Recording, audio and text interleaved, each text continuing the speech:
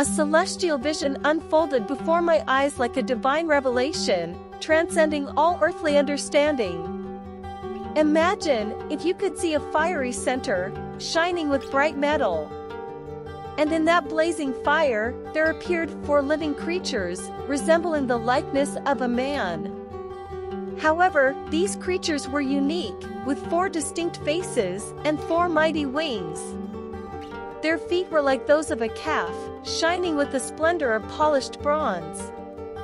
Under their wings, spread out on each of the four sides, they had human hands. And something extraordinary happened, these wings touched one another, forming a divine and mysterious scene. They moved with remarkable precision and grace, advancing without ever deviating from their course. The faces of these creatures were astonishing, for each had the face of a man, a lion to the right, an ox to the left, and also the face of an eagle. It was a celestial vision that defied comprehension.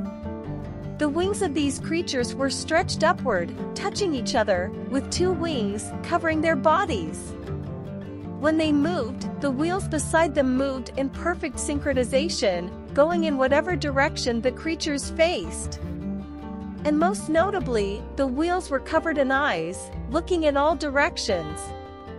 The sound of the creature's wings was like the roar of rushing waters, like the mighty echo of the voice of the Almighty, like the tumult of an army on the march.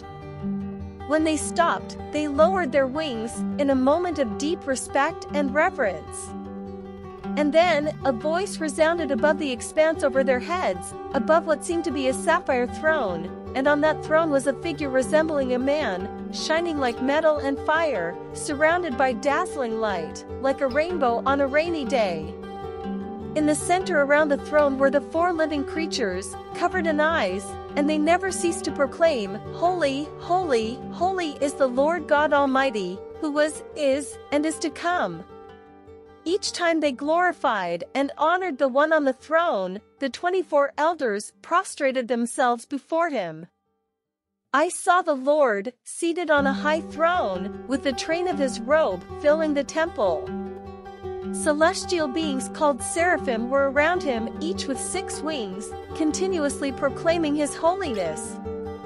And so, in the midst of this celestial vision, I knew that I had been chosen, and my life would never be the same. And, as it may be, this journey brought me face to face with a white horse, a symbol of an uncertain and divine future. My response to the Lord's call was simple Here am I, send me. May this vision awaken in you the same sense of awe and reverence that was experienced in the presence of divine majesty.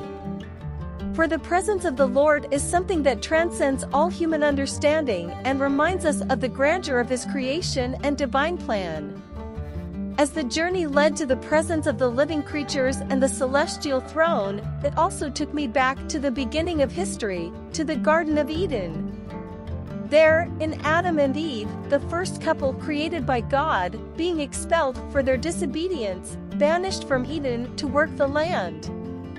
The Lord, in his infinite wisdom, placed cherubim with a flaming sword to guard the way to the tree of life. This makes it clear that divine justice is unquestionable and that the consequences of our choices can be profound and eternal. At another moment, one of the celestial creatures proclaimed with a voice that echoed like thunder, Behold, a white horse. These words, filled with meaning, suggested a sign of future, mysterious, and prophetic times. Encounters with the majesty of God shape destinies, just as your journey will shape yours. The call of the Lord may reveal itself in mysterious and surprising ways, and celestial visions remind us that our role in the divine story is part of a plan that transcends our understanding. May you find inspiration in the scriptures and celestial visions, and may the Lord always be by your side, guiding you on the journey of faith and devotion. Just as I was chosen to be a messenger, each of us has a purpose in God's grand story. I hope you have enjoyed this story and found valuable insights. Don't forget to watch more stories on the channel.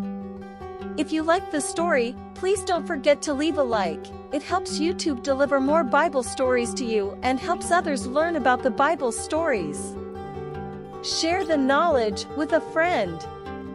If you're not already subscribed to the channel, I invite you to join the community. Click the subscribe button and activate the notification bell so you don't miss out on the exciting Bible stories. And now, I want to hear your opinion. Leave your comment or thoughts below with your questions, thoughts, or suggestions for future stories.